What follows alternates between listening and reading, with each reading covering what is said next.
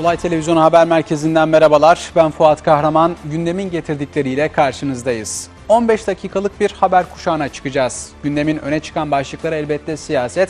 Önce başlıkları aktaracağız. Daha sonra çarpıcı görüntüleri ekranlarınıza getireceğiz. Gündemin getirdikleri önce başlıklarla başlıyor.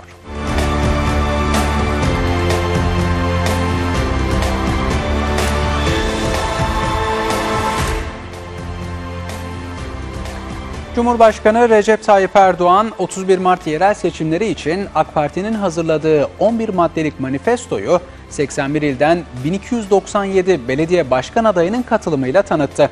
Ankara Spor Salonu'nda yapılan tanıtımda AK Parti'nin yerel seçim sloganı memleket işi gönül işi oldu.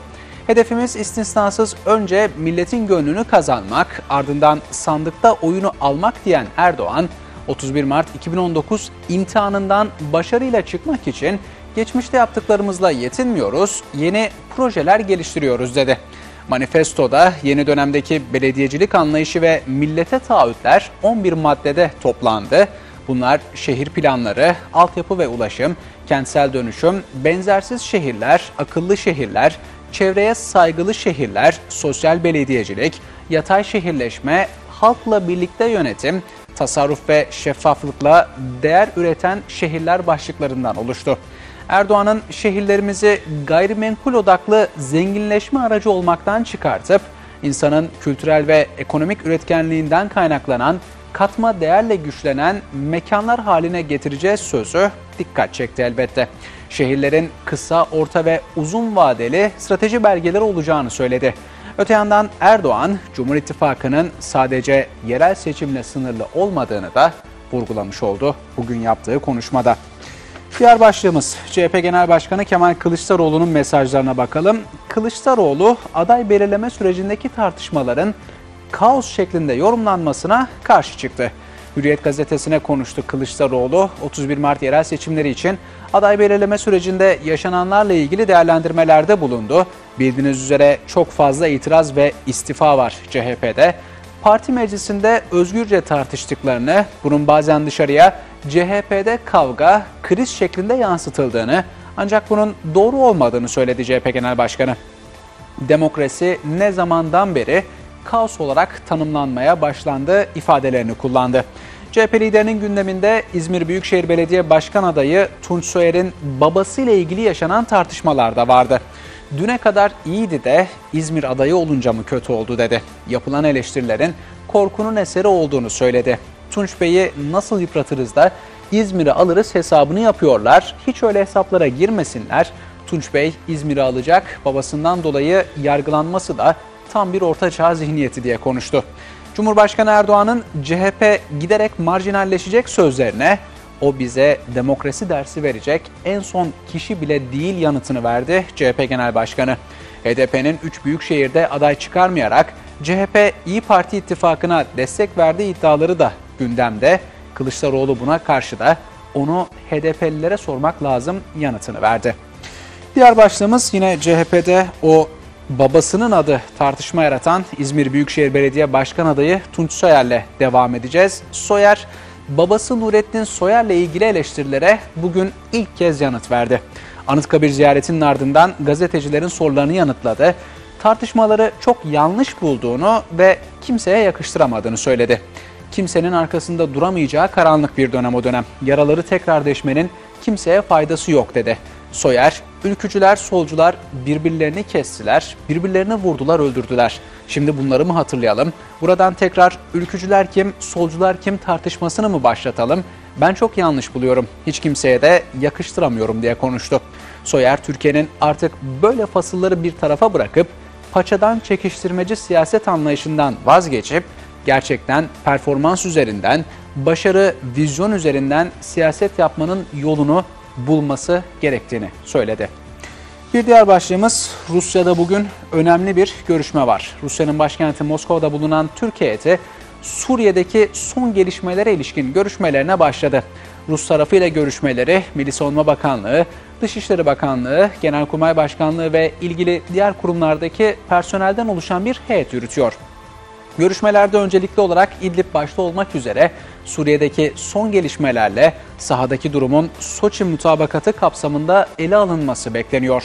Bildiğiniz üzere İdlib'de son dönemde terör örgütü bağlantılı grupların hakimiyetini genişlettiği yönünde fazlaca haberler var. Bu yüzden İdlib üzerinde hem Türkiye heyeti hem de Rus heyeti özellikle duracak. Devlet başkanları düzeyinde yapılması planlanan üçlü zirve öncesinde İran'ın da katılacağı üçlü zirve öncesinde çalışmalarında görüşmelerdeki bir diğer gündem maddesini oluşturması öngörülüyor. Türkiye heyetinin Rusya'dan pazar günü ayrılacağı belirtildi. Gözler dediğimiz gibi Moskova'da yapılan görüşmelerde Suriye düzleminde. Son başlık yine siyaset diyeceğiz fakat Latin Amerika'ya gidiyoruz. Avrupa Parlamentosu da Venezuela'da kendini geçici devlet başkanı ilan eden muhalif lider Juan Guaido'yu tanıma kararı aldı. Avrupa Parlamentosu'nun Brüksel'deki Venezuela'da durum başlıklı oturumunda dün Latin Amerika ülkesindeki gelişmeleri görüşen üyeler bugün karar tasarısını oyladı. Oylama sonucunda Guaido'yu Venezuela Anayasası'nın 233. maddesi doğrultusunda geçici devlet başkanı olarak tanıyan tasarı 104'e karşı 439 oyla kabul edildi. Tasarıda ülkedeki mevcut yönetime insan hakları ihlallerine bir an önce son verilmesi çağrısında bulunuldu. Guaido'yu ABD başta olmak üzere Avustralya, Kanada, Kolombiya, Peru, Ekvador, Paraguay, Brezilya, Şili, Panama, Arjantin, Costa Rica ve Guatemala gibi Amerika kıtasındaki çoğu ülke tanımış durumda. Meksika, Küba ve Bolivya hariç onlar Maduro'ya destek veriyorlar. Maduro'ya destek veren ülkelerin başında ise bildiğiniz üzere Rusya, Çin, Türkiye ve İran geliyor. Maduro ABD ile diplomatik ve politik ilişkileri kestiğini ancak ticari ilişkilerin süreceğini duyurmuştu. Dün de erken parlamento seçimine, seçimine gidilebileceğini söylemişti. Fakat erken seçimin sadece parlamento için geçerli olacağını devlet başkanlığı ile ilgili seçimlerin 6 yıl sonra planlandığı tarihte, önceden kararlaştırılmış tarihte yapılacağını söyledi Venezuela lideri. Twitter gündemiyle devam ediyoruz.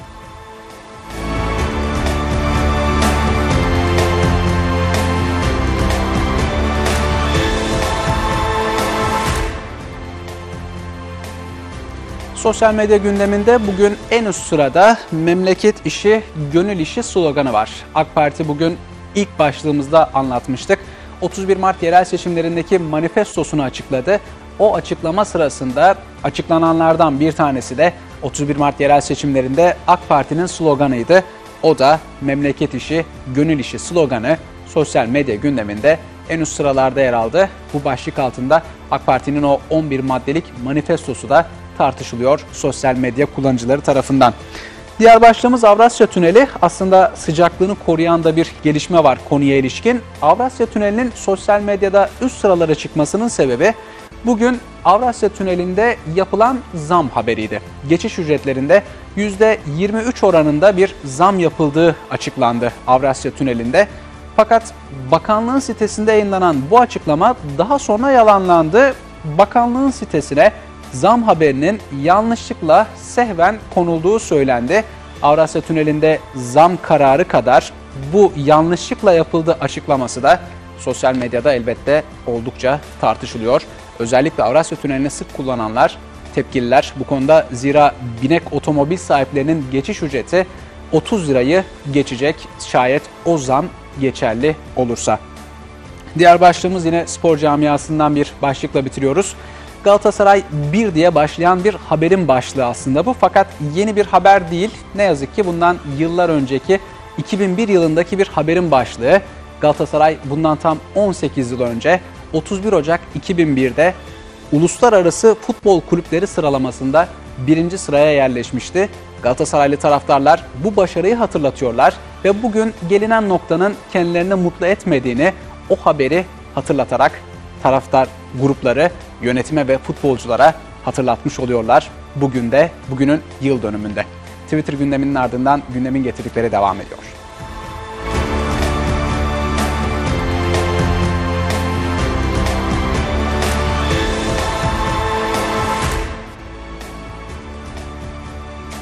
Akıl almaz bir cinayet haberiyle devam ediyoruz. Muğla'da 44 yaşındaki adam 20 yaşındaki sevgilisini öldürüp intihar etti. Yaşanan korku dolu anlar bir iş yerinin güvenlik kamerasına saniye saniye yansıdı.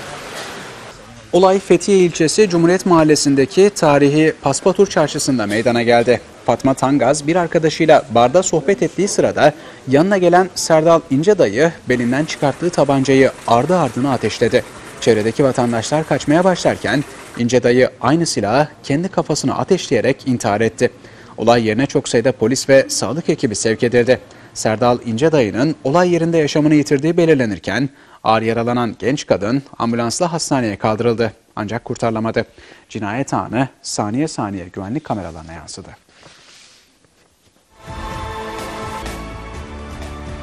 Antalya'da yaşanan hortum felaketinde annesiyle birlikte içinde bulunduğu aracın sürüklendiği derede kaybolan üniversite öğrencisi Kader Buse Acar'ı arama çalışmaları 8. gününde de devam etti. Ancak genç kıza dair hala bir iz yok.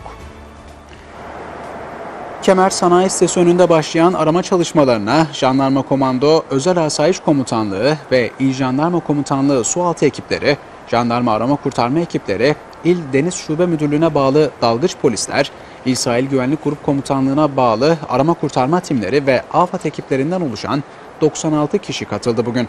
JAK ekipleri sabahın ilk saatlerinden itibaren derede arama çalışması yaptı.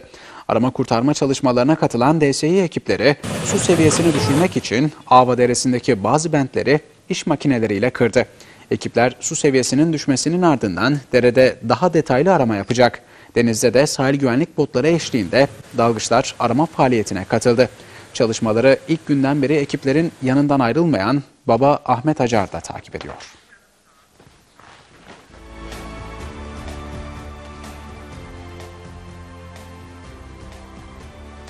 İstanbul'da düzenlenen uyuşturucu operasyonunda 850 kilogram eroin ele geçirildi. İki kişi gözaltına alındı. Bir tırda yapılan aramada ise 500 kilogram uyuşturucu skunk maddesi ele geçirildi. Operasyonlar polis kameralarınca saniye saniye kaydedildi. Operasyonları İstanbul Valisi Ali Yerlikaya Twitter hesabından duyurdu. İstanbul Narkotik Suçlarla Mücadele Şube Müdürlüğü ekipleri yüklü miktarda uyuşturucu madde taşınacağı bilgisi üzerine çalışma başlattı. Sultanbeyli'de gıda işi yapan bir iş yerine gelen şüpheliler takibe alındı. Şüpheliler aracın bagajından çıkardıkları bir çuvalı keserek içinde bulunan eroini iş yerine götürdü.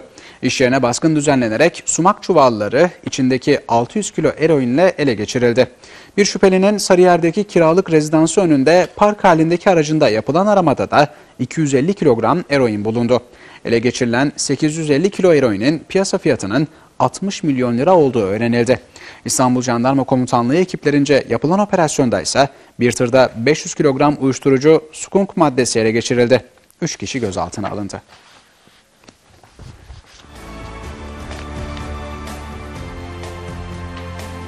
İstanbul Eyüp Sultan'da ekmek almak için fırına giden 16 yaşındaki gence otomobil çarptı. Havaya savrulan genç ağır yaralandı. Sürücünün hem alkollü hem de ehliyetsiz olduğu iddia ediliyor.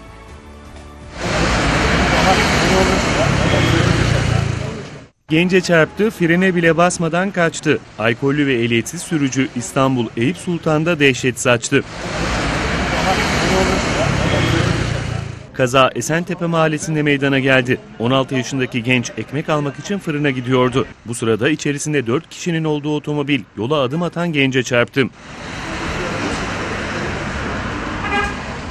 Çarpmanın etkisiyle havalanarak defalarca takla atan genç park halindeki bir taksiye çarparak yere düştü. 16 yaşındaki genç ağır yaralanırken sürücü kaçarak kayıplara karıştı. Karşı taraftan geliyordu. Burada misafirmiş kendisi. Ekmek almaya geliyormuş. Daha karşıya geçemeden araba çok süratliydi. Ondan sonra e, kendisine vurdu. Hatta şu aşağıda market var. E, Marketin oraya kadar bir havada uçtu. Araç da çok süratliydi. Kazayı gören vatandaşlar hemen sağlık ekiplerine haber verdi. Hastaneye kaldırılan genç ameliyata alındı. Frene basmadan kaçan sürücü ise polis ekiplerince kısa sürede yakalandı. Sürücünün alkollü ve ehliyetsiz olduğu iddia edildi. Kazayla ilgili soruşturma başlatıldı. Bir başka kaza haberi. Yine İstanbul'da kontrolden çıkan yolcu otobüsü devrildi. Kazada 2 kişi öldü, 3 ağır 21 kişi yaralandı. İstanbul'da sürücüsünün direksiyon hakimiyetini kaybettiği otobüs devrildi. Yolcular otobüste mahsur kaldı. Kazada iki kişi hayatını kaybetti, 21 kişi yaralandı. Kaza Hastal Kemerburgaz yolu Göktürk mevkiinde meydana geldi. Edirne Antalya seferini yapmak üzere yola çıkan yolcu otobüsü kontrolden çıkarak devrildi. Otobüsteydiniz galiba. Peki gördünüz mü nasıl olduğunu? Görmedim. Yolcular otobüs içerisinde mahsur kaldı. İhbar üzerine bölgeye polis, itfaiye ve 112 acil sağlık ekipleri sevk edildi. Otobüs içerisinde mahsur kalan vatandaşları kurtarma çalışması başlatıldı.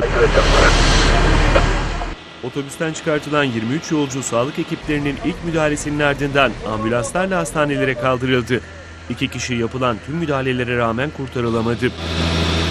Otobüs olay yerinden vinç yardımıyla kaldırılırken kazayla ilgili soruşturma başlatıldı.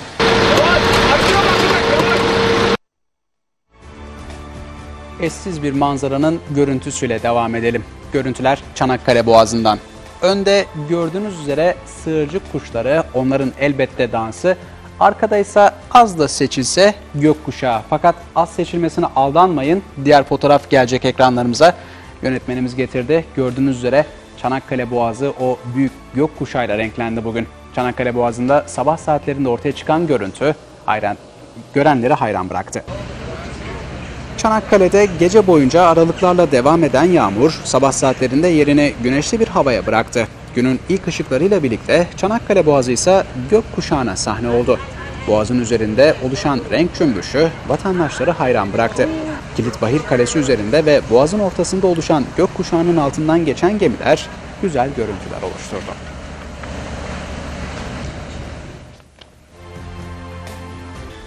Programın sonuna geldik. Hoşçakalın.